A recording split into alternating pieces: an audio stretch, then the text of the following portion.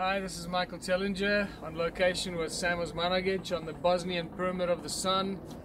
And uh, it's my third visit here, and I must say I'm even more amazed uh, on the third visit, also because I'm here on my own with Sam, and we've had more time to go into more detail and depth of explanation of what happened here, how he discovered this pyramid and this amazing structure in human history, and looking at the, the first site of exploration and the excavation that uh, Sam started in uh, 2005, I believe, um, and the layers of concrete conglomerates that lie on top of each other, following the shape of the pyramid, obviously all the way to the bottom and up, up disappearing under the layers of at least one meter of sand up there.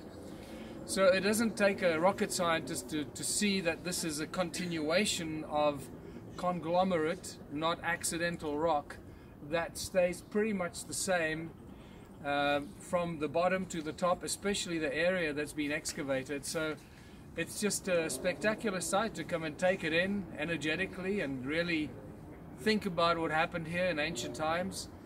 And also to get more information about the fossils that have been found in between the layers of concrete and the research and the dating that, that Sam has done here over the years and um, and it just blows my mind how what an amazing chapter in human discovery this is and the role it plays in opening our eyes about our human history.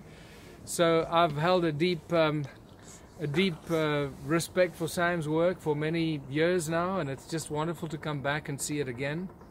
And then also the tunnels obviously. The tunnels which are uh, just to that side of us here uh, about two kilometers away which uh, I have seen some of the aerial scans and seen how the tunnels connect to the Bosnian Pyramid of the Sun. Uh, the tunnels themselves are a remarkable um, uh, discovery in archaeology and research into human history and what humans were up to in ancient times. And I look forward to making our way up there again now.